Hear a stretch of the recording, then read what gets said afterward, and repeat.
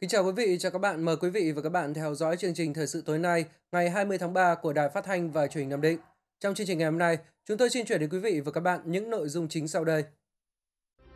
Đồng chí Bí thư tỉnh ủy làm việc với Ban Thường vụ huyện ủy Vụ Bản về kết quả thực hiện nhiệm vụ chính trị năm 2019, phương hướng nhiệm vụ trọng tâm năm 2020, tình hình triển khai thực hiện Đại hội Đảng bộ các cấp, tiến tới Đại hội đại biểu toàn quốc lần thứ 13 của Đảng.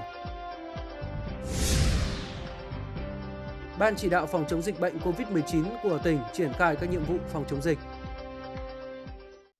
Sáng nay 20 tháng 3, đồng chí Đoàn Hồng Phong, Ủy viên Ban chấp hành Trung ương Đảng, Bí thư tỉnh ủy, trưởng đoàn đại biểu Quốc hội tỉnh đã có buổi làm việc với Ban Thường vụ huyện ủy Vụ Bản về kết quả thực hiện nhiệm vụ chính trị năm 2019, phương hướng nhiệm vụ trọng tâm năm 2020, công tác chuẩn bị Đại hội Đảng các cấp, tiến tới Đại hội đại biểu Đảng bộ huyện Vụ Bản lần thứ 22, nhiệm kỳ 2020-2025. Dự buổi làm việc có đồng chí Nguyễn Văn Va, Ủy viên Ban Thường vụ tỉnh ủy, trưởng Ban tổ chức tỉnh ủy, đồng chí Nguyễn Mạnh Hiền, Ủy viên Ban Thường vụ tỉnh ủy, chủ nhiệm Ủy ban Kiểm tra tỉnh ủy, đồng chí Trần Anh Dũng, Ủy viên Ban Thường vụ tỉnh ủy, Giám đốc Sở Kế hoạch và Đầu tư, đồng chí Trần Lê Đoài, Phó Chủ tịch Ủy ban nhân dân tỉnh.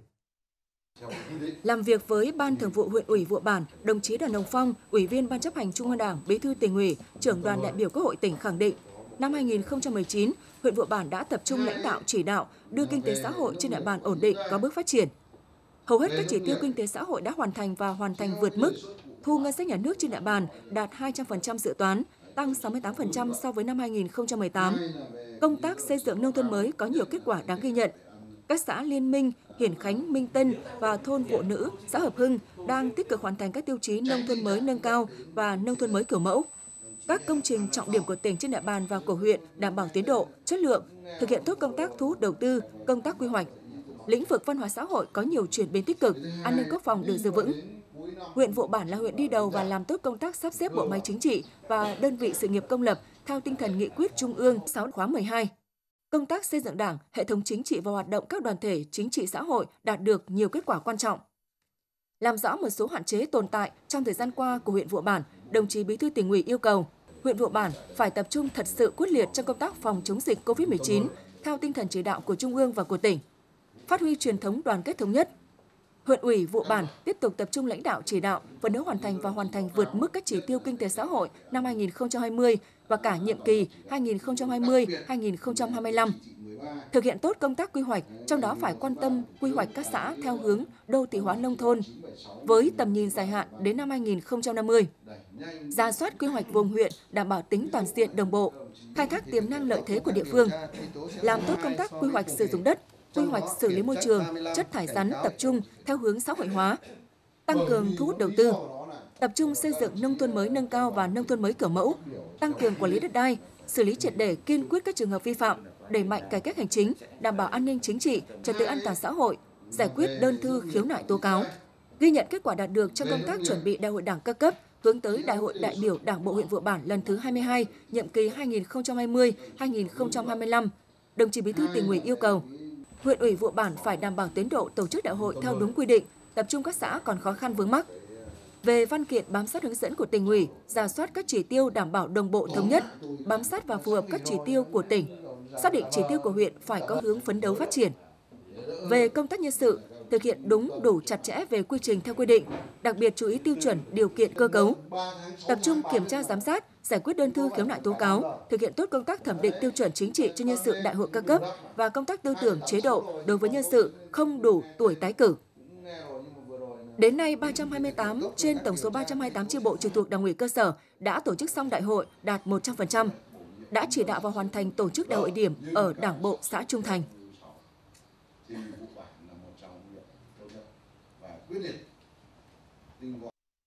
Chiều nay, Ban chỉ đạo phòng chống dịch COVID-19 tỉnh Nam Định triển khai các giải pháp phòng chống dịch trước diễn biến mới của dịch bệnh. Đồng chí Phạm Đình Nghị, Phó Bí thư tỉnh ủy, Chủ tịch Ủy ban nhân dân tỉnh, trưởng Ban chỉ đạo phòng chống dịch COVID-19 của tỉnh chủ trì hội nghị.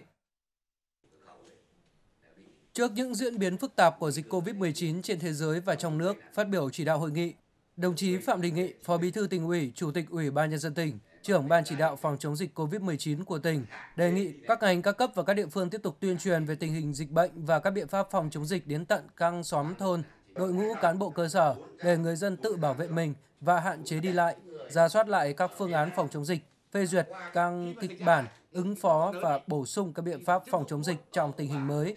Về công tác chuẩn bị cơ sở điều trị, đồng chí Phó Bí thư tỉnh ủy, Chủ tịch Ủy ban nhân dân tỉnh giao ngành y tế chuẩn bị các cơ sở điều trị sẵn sàng ứng phó với dịch bệnh. Các huyện và một số ngành chuẩn bị các cơ sở cách ly tập trung, trong đó ít nhất mỗi huyện có một cơ sở cách ly tập trung từ 50 giường. Bộ Chỉ huy Quân sự tỉnh bố trí 3 cơ sở cách ly tập trung với 600 giường. Ngành công an chuẩn bị cơ sở cách ly tập trung với 100 giường. Sở Lao động Thương binh và Xã hội chuẩn bị các cơ sở với tổng sức chứa khoảng trên 200 giường. Trong trường hợp dịch bệnh lan rộng vượt quá sức chứa của các cơ sở trên, mỗi huyện sẽ huy động thêm từ 2 đến 3 nhà đa năng làm cơ sở cách ly. Đồng chí đề nghị ngành y tế và các địa phương tiếp tục giả soát danh sách người trên các chuyến bay và người ở tỉnh khác về Nam Định. Ủy ban nhân dân các huyện ban hành ngay văn bản tạm dừng hoạt động của các cơ sở kinh doanh karaoke, massage. Ngành văn hóa, thể thao và du lịch có văn bản đóng cửa các di tích lịch sử, các địa điểm tham quan du lịch và các hoạt động vui chơi giải trí tập trung đông người bắt đầu từ 19 giờ ngày 22 tháng 3. Đồng chí Phó Bí thư tỉnh ủy, Chủ tịch Ủy ban nhân dân tỉnh đề nghị các ngành các địa phương hạn chế hội họp đông người, thu gọn quy mô các hoạt động bắt buộc, khuyến cáo các cơ quan có các phương án phòng chống dịch và tự bảo vệ cán bộ nhân viên trong cơ quan, khuyến cáo người dân hạn chế sử dụng phương tiện công cộng, góp phần phòng tránh dịch trong cộng đồng. Với vấn đề học tập của học sinh sinh viên, ngành giáo dục và đào tạo chỉ đạo các trường học từ mầm non đến tiểu học, trung học cơ sở, trung học phổ thông tạm nghỉ học cho đến khi có thông báo mới và chuyển sang hình thức học trực tuyến đối với các trường trung cấp, cao đẳng, đại học, hạn chế sự đi lại của học sinh sinh viên. Các ngành các địa phương cần đẩy mạnh tuyên truyền để người dân tiếp tục khai báo y tế toàn dân, ngành y tế cần mua ngay kit thử nhanh và máy xét nghiệm phục vụ công tác phòng chống dịch. Các huyện sử dụng ngân sách dự phòng của địa phương để gấp rút chuẩn bị các điều kiện phục vụ công tác phòng chống dịch, sẵn sàng ứng phó nếu dịch bệnh xảy ra ở Nam Định. Theo báo cáo của Ban chỉ đạo phòng chống dịch COVID-19 tỉnh Nam Định, đến 14 giờ ngày 20 tháng 3, tỉnh Nam Định vẫn chưa ghi nhận bệnh nhân nhiễm virus SARS-CoV-2. Tuy nhiên, toàn tỉnh hiện có 37 trường hợp nghi ngờ đang được cách ly theo dõi tại các cơ sở khám chữa bệnh Riêng trong ngày 19 tháng 3, các cơ sở khám chữa bệnh tiếp nhận cách ly thêm 2 trường hợp nghi ngờ, gồm một trường hợp tại Trung tâm Y tế huyện Trực Ninh, một trường hợp tại Trung tâm Y tế huyện Hải Hậu. Hai trường hợp này đều từ nước ngoài về Việt Nam ngày 18 tháng 3. Trong số 37 trường hợp nghi ngờ cách ly tại các cơ sở khám chữa bệnh, đã có 30 trường hợp có kết quả âm tính, còn 7 trường hợp đang chờ kết quả xét nghiệm. Tại cơ sở cách ly tập trung ở Trung tâm Bồi dưỡng Quốc phòng An ninh, hiện tại đang cách ly 165 trường hợp trong đó có 96 trường hợp tiếp nhận từ quân khu 3, 69 trường hợp từ các huyện. Hiện trung tâm đã lấy 18 mẫu bệnh phẩm gửi đi xét nghiệm. Trong đó có 10 mẫu bệnh phẩm đã cho kết quả âm tính, 8 mẫu bệnh phẩm đang chờ kết quả xét nghiệm. Ngoài ra, toàn tỉnh hiện có 519 trường hợp đang được cách ly theo dõi sức khỏe tại nhà nơi lưu trú.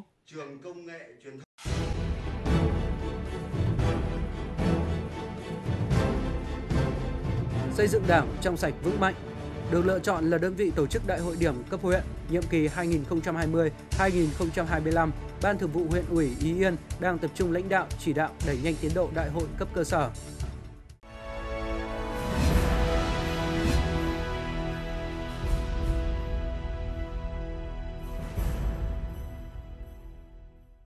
Thưa quý vị và các bạn, được Ban Thường vụ tỉnh ủy lựa chọn là đơn vị tổ chức đại hội điểm cấp huyện nhiệm kỳ 2020-2025, Ban Thường vụ huyện ủy Ý Yên đang tập trung lãnh đạo chỉ đạo đẩy nhanh tiến độ đại hội cấp cơ sở, tích cực chuẩn bị các điều kiện để tổ chức đại hội Đảng bộ huyện lần thứ 24, nhiệm kỳ 2020-2025.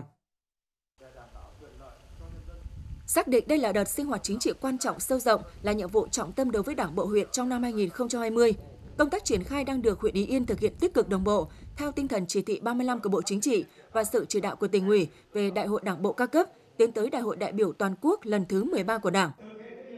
Không văn nghệ, không đoàn học sinh đến chúc mừng, Đại hội Đảng bộ xã Yên Khang lần thứ 22 vẫn diễn ra trang trọng trong thời điểm dịch COVID-19 đang diễn biến phức tạp. Dân chủ, thẳng thắn và đồng thuận là điều dễ nhận thấy tại đại hội. Trong văn kiện đại hội, Đảng bộ xã Yên Khang xác định chỉ tiêu trong nhiệm kỳ tới sẽ đạt tiêu chí xã nông thôn mới nâng cao, đóng góp vào chỉ tiêu chung của nghị quyết đại hội Đảng bộ huyện Ý Yên lần thứ 24. Trong cái phương hướng nhiệm kỳ tới là đang có hướng xây dựng là hoàn thành được cái xây dựng nông đối với xã nông thôn mới nâng cao và 6 xóm đăng ký thôn xóm kiểu mẫu trong những kỳ tới mà phấn đấu làm sao mà phải 100% các, các thôn xóm đạt thôn xóm kiểu mẫu trong cái nhiệm kỳ tới. Đảng bộ huyện Ý Yên hiện có 77 tổ chức cơ sở đảng gồm 31 đảng bộ xã thị trấn và 46 đảng bộ chi bộ cơ quan với tổng số chi bộ trực thuộc đảng bộ cơ sở là 597 chi bộ. Để tổ chức thành công Đại hội đại biểu Đảng bộ huyện lần thứ 24, nhiệm kỳ 2020-2025 đảm bảo về thời gian và kế hoạch,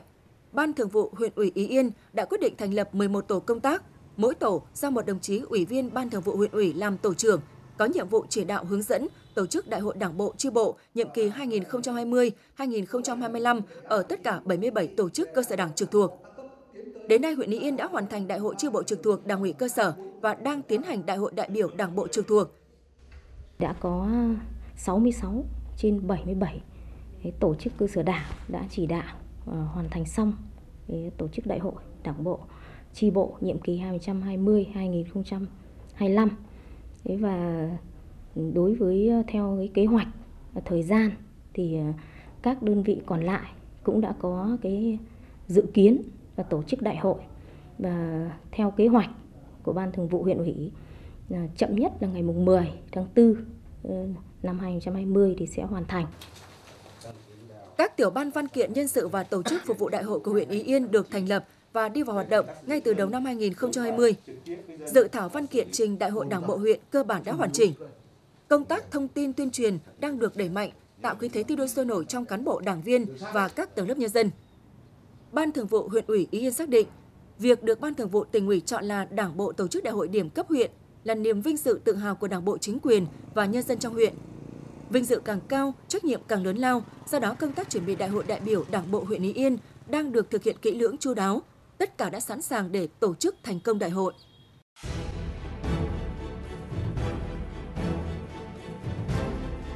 Sở Giáo dục Đào tạo phối hợp với Đài Phát thanh Truyền hình tỉnh Nam Định tiếp tục dạy học trên truyền hình đối với học sinh lớp 9 trong thời gian các em chưa thể đến trường do dịch Covid-19. Báo Nam Định phối hợp với công ty cổ phần dệt lụa Nam Định trao tặng khẩu trang cho ban chỉ đạo phòng chống dịch Covid-19 huyện Trực Ninh. Đoàn khối các cơ quan tỉnh và đoàn khối doanh nghiệp tỉnh tặng khẩu trang và dung dịch sát khuẩn cho người dân thành phố Nam Định. Thưa quý vị, thưa các bạn, trước những diễn biến phức tạp của dịch bệnh viêm đường hô hấp cấp COVID-19, học sinh các cấp phải nghỉ học, Sở Giáo dục và Đào tạo phối hợp với Đài Phát thanh Truyền hình tỉnh tiếp tục tổ chức dạy học trên truyền hình đối với học sinh lớp 9 trong thời gian các em chưa thể đến trường. Theo đó, Sở Giáo dục và Đào tạo tỉnh cùng Đài Phát thanh Truyền hình tỉnh Nam Định tiếp tục tổ chức ghi hình 24 chuyên đề ôn tập các môn học trong chương trình lớp 9, trong đó có 12 chuyên đề thuộc các môn học toán, văn, anh, bởi vậy, ngay trong những ngày này, lãnh đạo Đài Phát thanh Truyền hình tỉnh và lãnh đạo Sở Giáo dục và Đào tạo tỉnh cùng đội ngũ cán bộ, giáo viên và ekip thực hiện chương trình đã có những bản thảo để các tiết dạy trên truyền hình được thực hiện kịp thời, nhanh chóng, bảo đảm thời gian phát sóng và bảo đảm chất lượng bài giảng. Với các giáo viên trực tiếp thực hiện các tiết học trên truyền hình, dù vẫn là thực hiện công việc chuyên môn nhưng trong điều kiện phòng chống dịch bệnh, những tiết học trên truyền hình là một trải nghiệm mới, đòi hỏi bản thân người giáo viên cũng có những thay đổi trong xây dựng và thể hiện bài giảng để thích ứng với tình hình mới. Bản thân tôi thì rất là hứng thú với việc à, tham gia xây dựng bài dạy trên truyền hình và đối với tôi đây là một trải nghiệm rất là mới và thú vị. Thì tuy nhiên trong cái quá trình mà xây dựng bài thì chúng tôi cũng gặp khá nhiều khó khăn, đặc biệt là do không có nhiều sự tương tác với học sinh nên là chúng tôi phải cố gắng ờ, thiết kế bài giảng thật dễ hiểu, thật đơn giản để cho học sinh có thể tiếp cận được khi mà không có sự tương tác với giáo viên. Ừ, khi đứng trước máy quay và hệ thống với hệ thống âm thanh và ánh sáng khá là hiện đại thì bản thân bản thân tôi cảm thấy rất là rất là trắng ngập và so với việc mà đứng trước học sinh thì tôi cũng cảm thấy hơi hơi hộp một chút. Mặc dù là mình đã cũng, cũng có khá nhiều năm kinh nghiệm khi dạy học sinh nhưng mà đây là một trải nghiệm thực sự là mới và cũng để lại cho tôi rất nhiều kinh nghiệm. À, thực ra thì à, về việc à, dạy trên truyền hình thì muốn có một cái tiết dạy tốt thì ngoài trình độ chuyên môn tốt người giáo viên phải có năng lực về công nghệ thông tin. Các cái tiết dạy giảng thì các thầy cô luôn phát huy hiệu quả của các cái thiết bị dạy học đặc biệt là các cái bài trình chiếu bao voi. À, do đó người giáo viên cần có nhiều thời gian để xây dựng một giáo án sao cho trực quan sinh động và thuận tiện cho quá trình tiếp thu của học sinh uh, ngoài cái chuẩn kiến thức ấy, thì tôi nghĩ rằng là người giáo viên phải có cái tương tác một cách phù hợp để tạo được cái sự hứng thú uh, tạo được sự hấp dẫn qua cái bài dạy của mình. Ngoài ra thì mỗi khi thu hình xong thì chúng tôi cần phải dành rất nhiều thời gian để làm hậu kỳ với các anh chị em kỹ thuật mới có thể có một tiết học phát sóng cho các em học sinh. À, tuy vậy thì do tình hình dịch bệnh đang hết sức phức tạp, do đó tất cả giáo viên chúng tôi khi được điều động đều sẵn sàng nhận nhiệm vụ và cố gắng hết sức mình để có các giờ học cho các em học sinh có thể tự ôn tập ở nhà trong lúc các em chưa thể đến trường. Trong những ngày này, các bộ phận phối hợp giữa Sở Giáo dục, Đào tạo và Đài Phát thanh Truyền hình tỉnh đang gấp rút tổ chức thu chương trình và xử lý hậu kỳ để bảo đảm thời gian phát sóng. Từ sáng thứ hai ngày 23 tháng 3, Đài Truyền hình Nam Định sẽ tiếp tục phát sóng các chương trình dạy học trên truyền hình vào các khung giờ 7 giờ 30, 7 giờ 50, 8 giờ 20 và phát lại vào lúc 15 giờ, 15 giờ 20, 15 giờ 50 hàng ngày trên kênh NTV. Trên trang thông tin điện tử của Đài Phát thanh Truyền hình tỉnh Nam Định, namdinhtv.vn và cổng thông tin Sở Giáo dục Đào tạo Nam Định, namđịnh.edu.vn. Chiều nay, báo Nam Định phối hợp với công ty cổ phần dệt lụa Nam Định trao tặng khẩu trang vải đạt chuẩn cho Ban chỉ đạo phòng chống dịch COVID-19 huyện Trực Ninh. Hơn 1.000 khẩu trang với tổng trị giá 20 triệu đồng được đại diện lãnh đạo báo Nam Định và công ty cổ phần dệt lụa Nam Định trao tặng Ban chỉ đạo phòng chống dịch COVID-19 huyện Trực Ninh. Đây là loại khẩu trang vải đạt chuẩn theo tiêu chí của Bộ Y tế, thiết kế 3 lớp, lớp kháng khuẩn trong cùng, lớp kháng bụi phòng chống nắng ở giữa và lớp phòng chống nước bên ngoài. Việc làm này đã thể hiện tinh thần sung kích thiện nguyện của cán bộ phóng viên báo Nam Định, trách nhiệm vì sức khỏe cộng đồng của doanh nghiệp dệt lụa Nam Định cùng chung tay phòng chống dịch COVID-19. Đến nay, huyện Trường Ninh đã tự vận động và tiếp nhận tài trợ với tổng giá trị vật chất trên 335 triệu đồng từ các tổ chức doanh nghiệp, tuổi trẻ, đoàn viên thanh niên và các tầng lớp nhân dân trong và ngoài huyện ủng hộ cho công tác phòng chống dịch COVID-19. Hưởng ứng lễ phát động toàn dân ủng hộ phòng chống dịch COVID-19 của Ủy ban Trung ương Mặt trận Tổ quốc Việt Nam, đoàn khối các cơ quan tỉnh và đoàn khối doanh nghiệp tỉnh phối hợp tổ chức trao tặng khẩu trang và dung dịch sát khuẩn miễn phí cho người dân trên địa bàn thành phố Nam Định. Từ nguồn kinh phí được các cơ sở đoàn trực thuộc, đoàn khối các cơ quan tỉnh và đoàn khối doanh nghiệp tỉnh ủng hộ, đã có gần 170 xuất quà trao tặng tới các hộ dân có hoàn cảnh khó khăn thuộc phường Trần Tế Sương và phường Quang Trung, thành phố Nam Định. Đoàn viên thanh niên khối doanh nghiệp tỉnh và khối các cơ quan tỉnh cũng đã phát 1.000 chiếc khẩu trang kháng khuẩn cùng các tài liệu tuyên truyền cách phòng tránh dịch bệnh viêm đường hô hấp cấp do chủng mới của virus corona gây ra tới người dân trên địa bàn thành phố. Đây là việc làm ý nghĩa thiết thực, góp phần cùng cộng đồng chung tay đẩy lùi dịch bệnh. Được biết, thời gian tới, đoàn khối các cơ quan tỉnh sẽ tiếp tục phối hợp cùng đoàn khối doanh nghiệp tỉnh tổ chức trao khẩu trang và dung dịch sát khuẩn tới người dân trên địa bàn huyện Giao Thủy.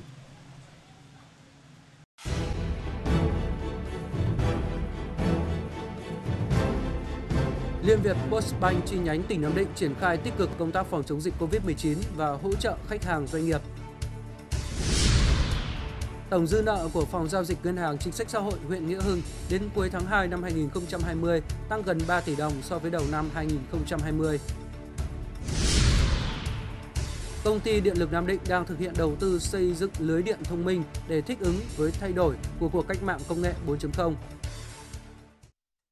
Thưa quý vị, thưa các bạn, trước những diễn biến phức tạp của dịch COVID-19, Ngân hàng Liên Việt Postbank chi nhánh tỉnh Nam Định đang triển khai tích cực công tác phòng chống dịch COVID-19 và hỗ trợ khách hàng, doanh nghiệp chịu sự tác động, ảnh hưởng, thiệt hại từ dịch theo chỉ đạo của Ngân hàng Nhà nước Việt Nam và Ngân hàng Liên Việt Postbank.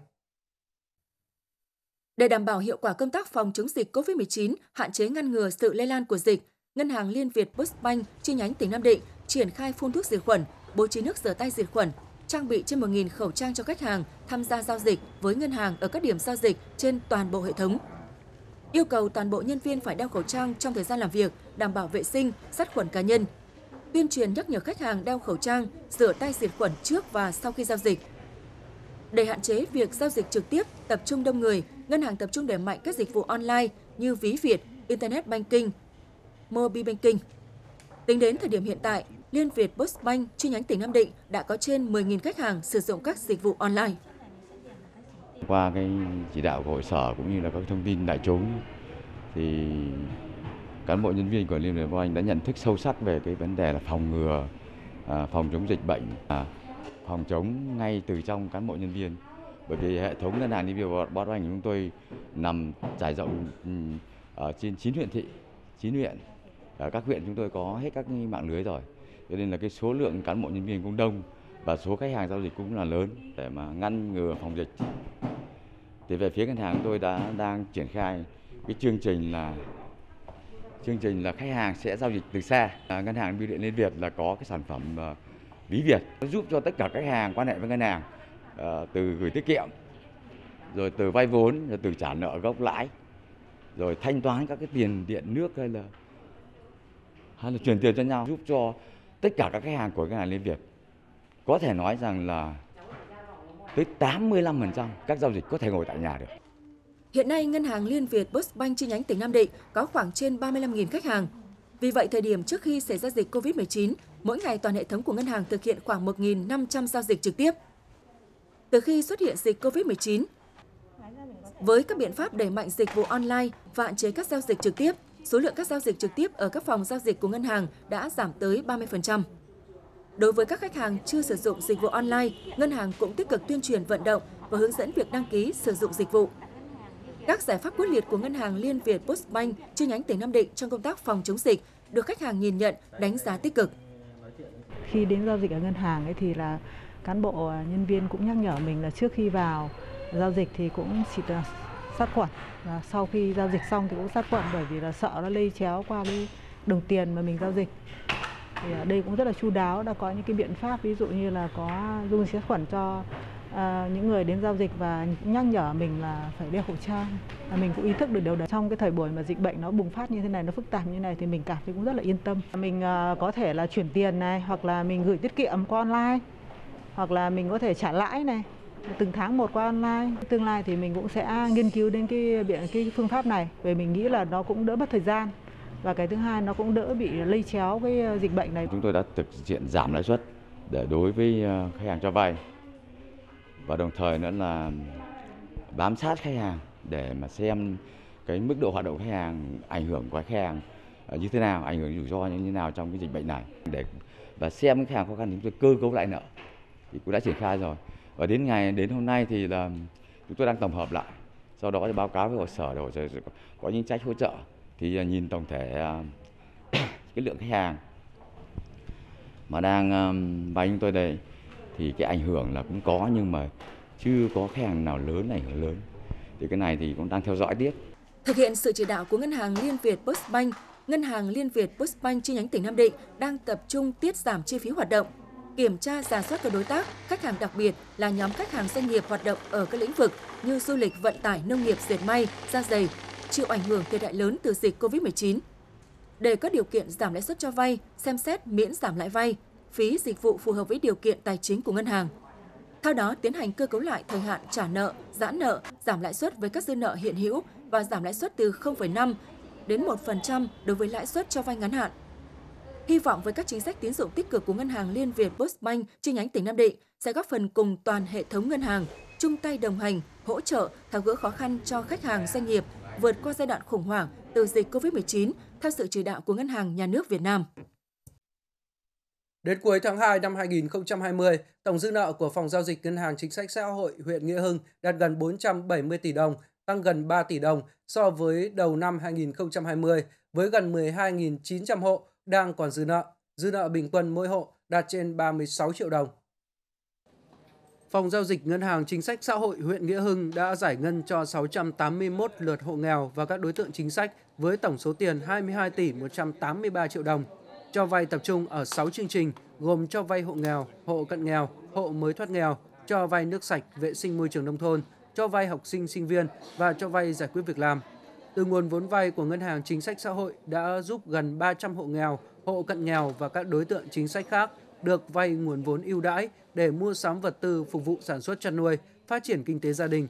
giải quyết việc làm cho hàng chục lao động nông thôn, góp phần nâng cao thu nhập, cải thiện đời sống. Bên cạnh đó, Phòng Giao dịch Ngân hàng Chính sách Xã hội huyện Nghĩa Hưng còn phối hợp với các tổ chức chính trị xã hội tích cực tuyên truyền các chính sách tín dụng ưu đãi, hướng dẫn sử dụng vốn có hiệu quả, mạnh dạn nâng mức đầu tư.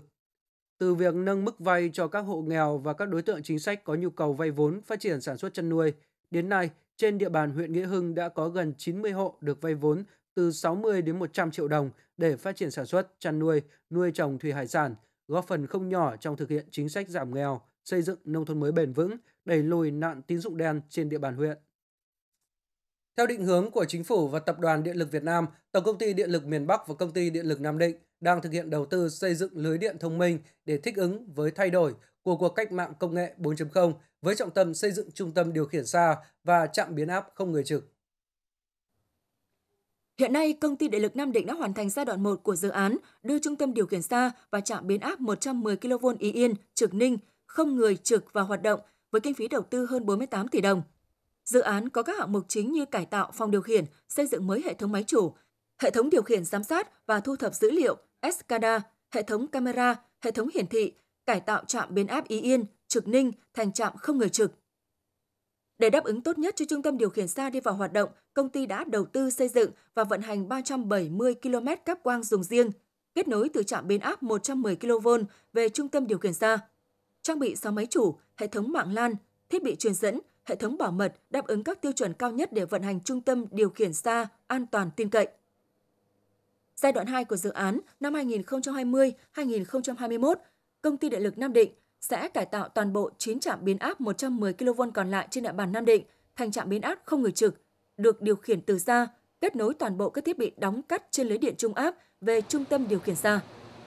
Đồng thời thực hiện thí điểm kết nối hệ thống đo đếm trên lưới điện hạ áp của thành phố Nam Định về trung tâm điều khiển xa. Đây là bước tiến quan trọng trong việc hiện đại hóa, tự động hóa hệ thống điện theo lộ trình xây dựng lưới điện thông minh, góp phần nâng cao năng suất lao động, tăng độ tin cậy cung cấp điện, chất lượng điện năng, đảm bảo an ninh chính trị, phát triển kinh tế xã hội trên địa bàn tỉnh Nam Định. Thông tin vừa rồi cũng đã khép lại chương trình thời sự tối nay của Đài Phát thanh và Truyền hình Nam Định. Cảm ơn quý vị và các bạn đã quan tâm theo dõi. Toàn bộ nội dung chương trình, quý vị và các bạn có thể theo dõi lại trên website namdinhtv.vn. Xin thân ái chào tạm biệt và hẹn gặp lại.